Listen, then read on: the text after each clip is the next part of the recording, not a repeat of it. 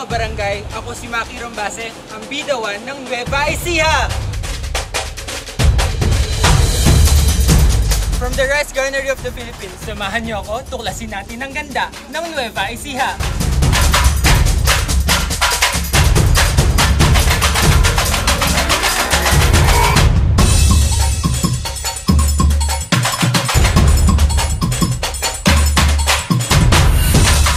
So ngayon po, nandito po tayo sa Tanawan.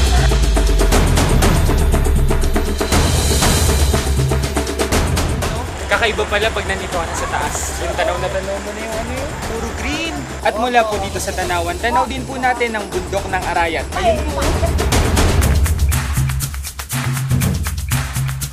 Ganda oh.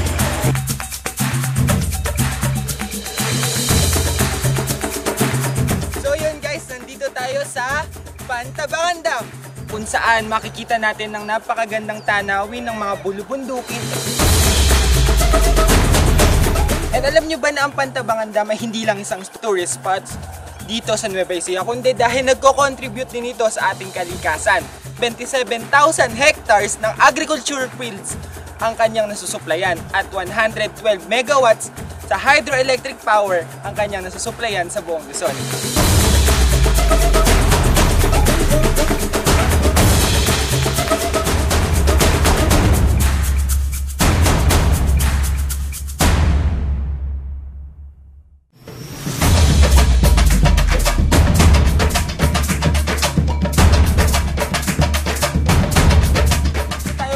Omegon Farm kung saan makikita natin ang mga seedlings na kanilang pinagmamalaki. Meron tayong lychee, meron tayong guava, meron tayong santolbi, at meron tayong durian. Hindi lang sa Davao pero meron na rin tayo dito sa Nueva Ecija. Meron na rin tayong rambutan na kung saan sila ang nagsusupply sa buong Nueva Ecija ng rambutan.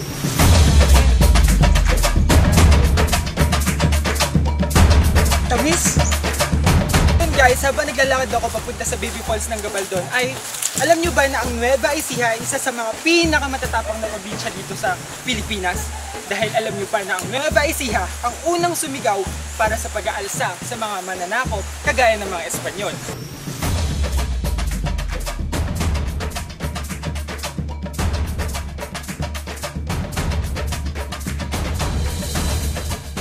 So ayan na guys, after ng medyo medyo malayong lakad, ayan na, makikita nyo na ang baby falls dito sa Gabaldon, Nueva Ecija.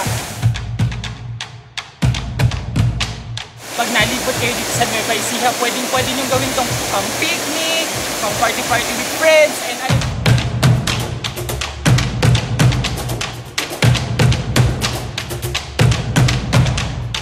Hey, sup guys? So dahil nga Nueva Ecija ang rice granary ng Pilipinas, hali kayo, pakita natin kung paano nga ba ang nagiging proseso bago maging bigas ang isang palay. Mainit ngayon pero kayang-kaya lang kasi alam naman natin yung mga hirap ng mga ginagawa ng mga farmers natin dito kaya saludo ko sa mga farmers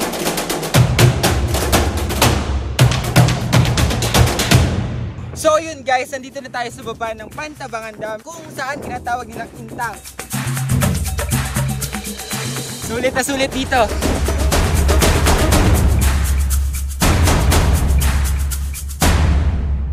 Dahil nga sa sobrang dami nating napuntahang mga lugar, syempre mapapagod tayo at hindi natin dapat palagpasin ng mga pagkain dito sa Nueva Ecija. At ang unang-una dyan is ang batotay ng kabanatuan.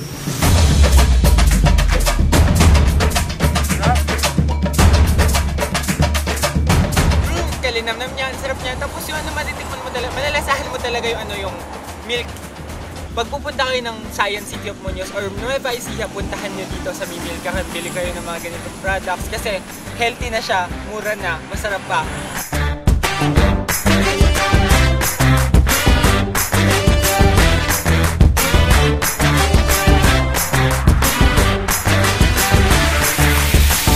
Bayan ng talino at galing, nakakahumaling ang ganda dito sa amin na hindi ka mabibitin.